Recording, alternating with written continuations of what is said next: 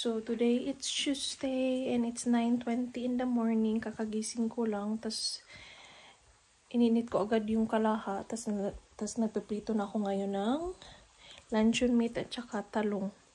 Mag-breakfast tayo ng Filipino breakfast kasi na-miss ko ang Filipino breakfast. Tapos, uh, yung ganap ko today is lalaban ko yung ano yung yung stroller ni baby. Stroller ba yung tawag doon? Barnwang. Yung sa ano, bakit hindi ko na alam kung English nun, barnwang. Tapos, mag um, uh, ayusin ko yung room ni baby kasi naayos na ni Christopher yung yung bed ni baby, yung isang bed ni baby. So, anuhan ko yung siya, lilinis, lilinisin ko yun siya. Patrap, trapuhan ko lang ng medyo basa na ano, trapo. So, yan. Yan yung ano ni baby. Yan yung, dalawa kasi yung bed niya. Yung isa, yung maliit. So, ito yung malaki na bed niya. Tsaka dito namin nilagay sa kanyang room. Yung isa doon sa kabilang room para plano kasi namin, hindi na namin, hindi na namin ano, hindi na namin uh, ita-transfer yung maliit. Kung gusto man namin na uh, patulugin si baby dito sa dito sa room, dito sa room na ito. So hindi ko pa yan naayos at saka tanggalin pa ito ni Christopher yung mga ano dito mga gamit dito. So, dito ako natulog kagabi. Grabe ka, sunny. Yan. So, yun yung ganap ko today. And then, mag mag-walking ako after kung mag after kung mag ano laban yung yung stroller ni baby. Hindi na kami nagbili din ng bago na stroller kasi Mama yun ni Christopher ang nagbili. Ano lang yun, um, second hand lang yung pagbili niya. Tingnan lang natin kung okay ba yung, uh, okay ba yung stroller. Kung hindi siya okay, bibili kami ng bago. So, yun. So, magluluto lang muna ako and then babalikan ako. Babil babalikan ko kayo mamaya. So, ayan ang breakfast ko. Nag-fried rice ako. Ayan, yung talong. Tapos may sausawan ako patis at saka uh, fish sauce at saka lemon. Tsaka may chili. Let's eat. Tapos meron akong ano, chili sauce din. Spring, spring rolls para doon sa ano, luncheon meat ko. Let's eat! So, dito na ako sa labas. Mag, ano na ako. Linisan ko na itong ano, stroller. So, 天。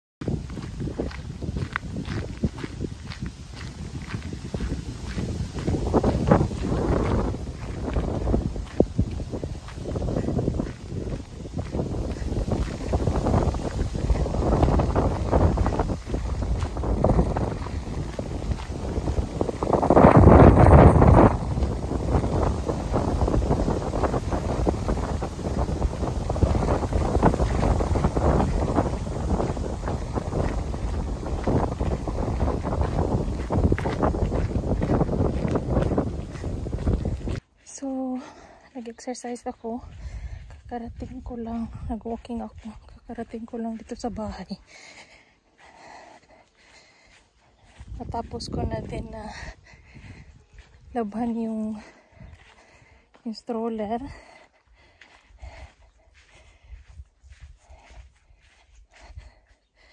Ito yung parang bed sa loob ng stroller. Sana matuyo siya talaga. Tapos,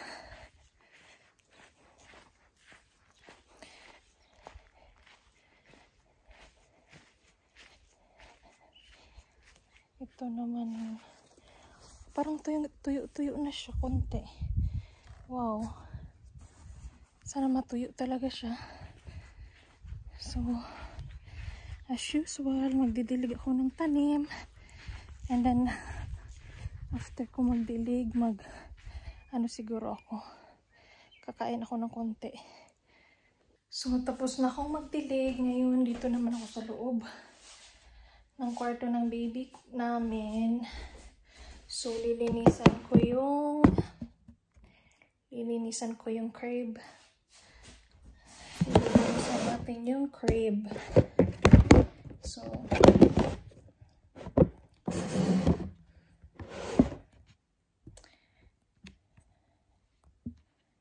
isa natin yung crib. Tanggalin muna natin itong foam.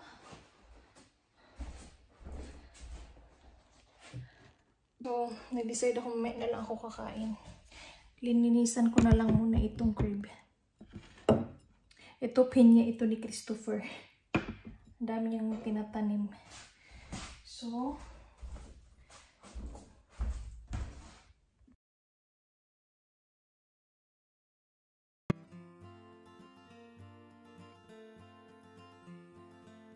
So, magantay lang ako ng konti. Kasi medyo basa, basa, binasa ko kasi yung, yung ginamit kong trapo. So, may, may ilagay ko yung foam at saka ano, tsaka yung mattress protector. And then yung nabili kong baby nest. So, so nilagay ko na yung foam at saka ito yung binili namin ano, yung protector para sa ano, na hindi ma na hindi maano ba kung magpipi man si magpipi maghihi man si baby hindi mababasa yung mababasa yung mattress so yan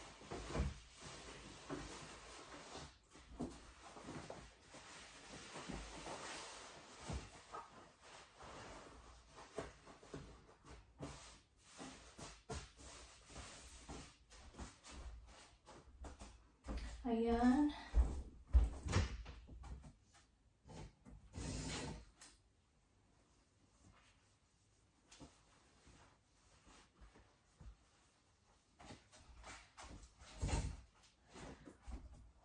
Tapos may ano kami dito, um, may binili yung mama ni Christopher para sa bed. So, parang bedsheet siya. So, ilalagay ko ito dito.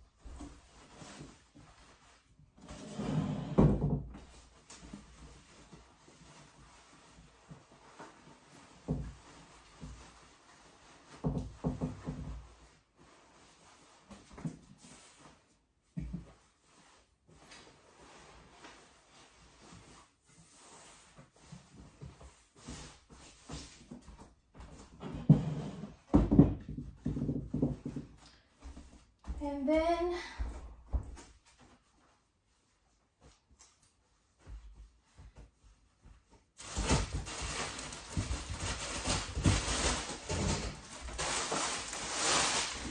ito yung baby nest na nabili ko. So, ilalagay ko yan dito.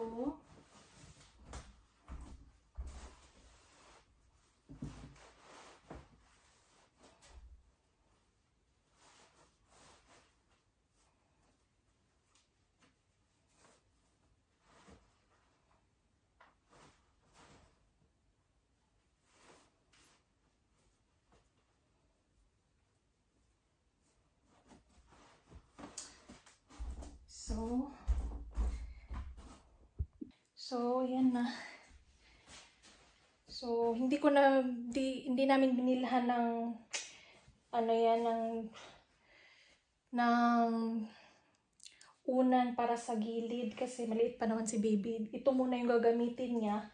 Safe naman siya dito kasi parang may unan na din siya dito sa gilid tsaka maliit pa naman siya. So, yan muna ang ano namin, gagamitin namin.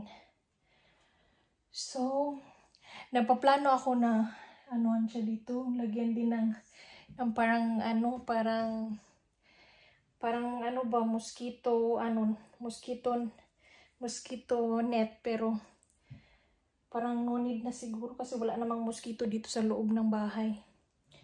Tsaka baka mas lalo may init kasi summer ngayon. So, this is it. Pansit.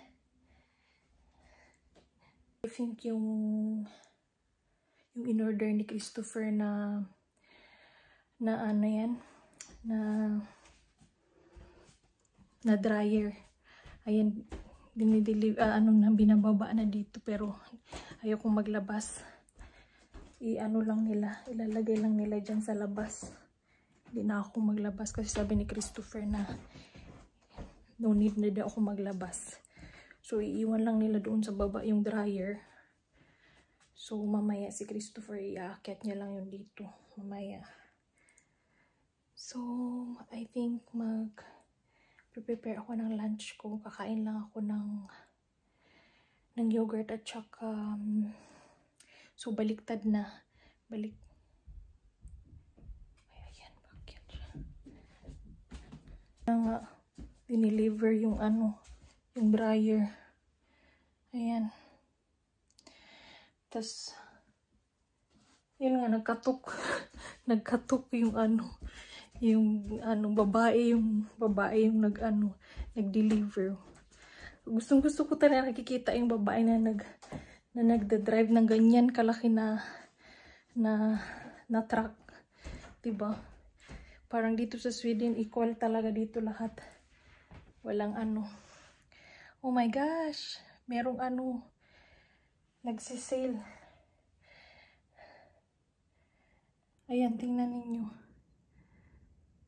Mahangin kasi kaya medyo nag nag-ano yung yung sailing boat. Eh, kaya ayoko talaga mag-sail. No, no, no, no. Sabi nga ni Christopher, bibili daw siya ng ano, sailing boat, yung maliit lang. Tingnan niyo, grabe. Nagbe-bend yung ano, sailing boat. My gosh. Yun nga, sabi ni Christopher, bili, bibili daw siya ng sailing boat pero yung hindi matulugan. Yung ano lang ma... Yung magsisay lang talaga yung ano lang, yung, maupo, yung mag-upo lang. Tapos, ano para mag-tour daw kami na walang gastos. Yung hindi kami mag, ano, ng gasolina. Yun. Tapos yun na nga, um, at saka may nakita ako na video na nakalagay din na wag lagyan ng maraming unan yung yung ano crib kasi nga prone yung baby na baka mamaya matum, matumba yung anong matumba yung yung unan sa baby.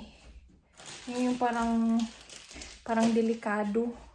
So, yan. Bibili pa kami ng una ng baby. Kasi nga out of stock sa ano, out of stock sa IKEA. Tapos yung maganda yung unan doon sa IKEA. Iwan ko lang kung bibili kami sa Amazon kasi available sa Amazon. Pero mas mahal siya.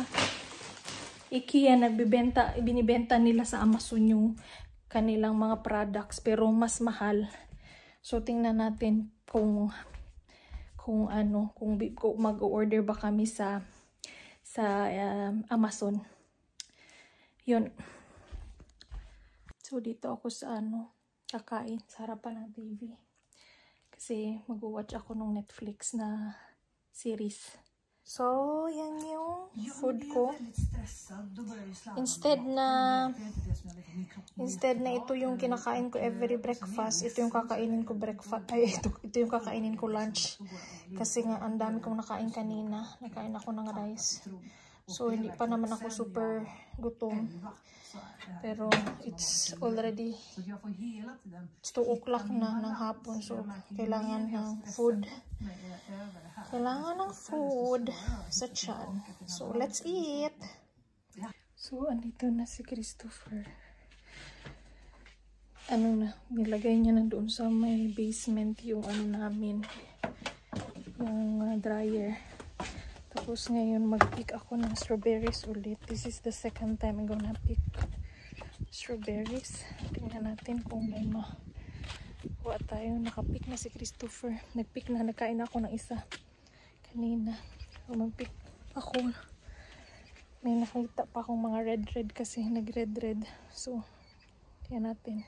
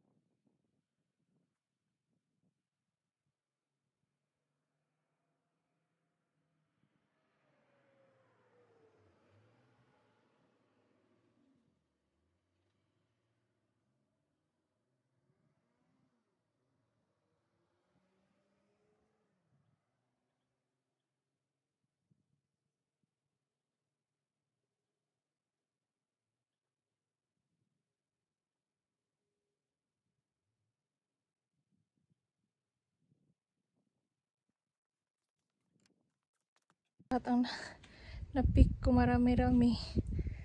Marami-rami ngayong araw na to. So yung iba kahit na hindi pula, hindi talaga totally pula, kinuha ko na lang din kay kasi, kasi ano, yung linta. Ang daming linta. Ito nga kinainan, kinainang linta. Tingnan nyo, kinain ng linta. Kainis. Pero sige na lang.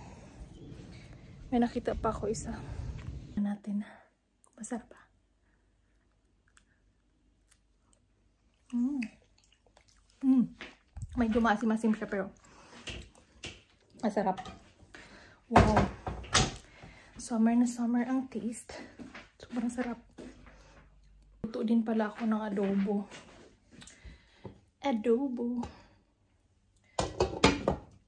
Kaya sira-sira na yung dito kasi si Christopher hindi napaplano pa ito siya na ayusin ang kusina niya. Hindi pa tapos dito yung kitchen niya. So siya lang gumagawa ng, ng ano, siya lang nag, nagkakarpintero dito sa bahay niya. Yung chicken. Yan yung i-dinner namin. Mamaya. Chicken adobo.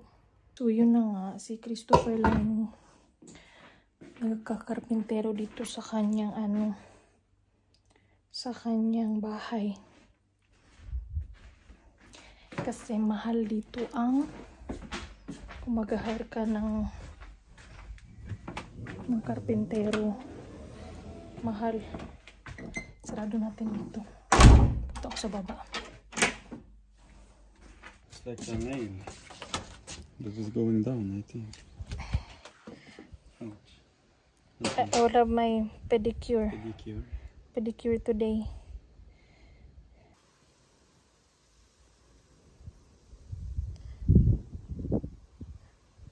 Ow! Ow! Ow! Ow! Oh my god. What are you doing? It's like you are cutting uh, paper. Don't include that. You're cutting paper. See, look guys, there Christopher is using scissor, Nathaniel Cutter. Weird.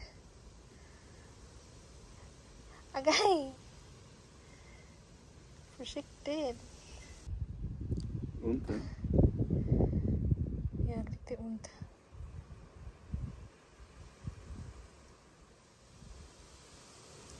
Restricted. Ow! Because you cannot use that. That's a... Oh my god, that's a seesaw. Den är så Oh tjock. Den är jättetjock din nagel.